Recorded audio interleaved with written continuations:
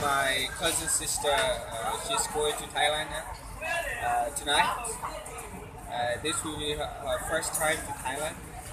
And she's been uh, China, and she's going to uh, Mae Sot in Thailand for studying English and computer.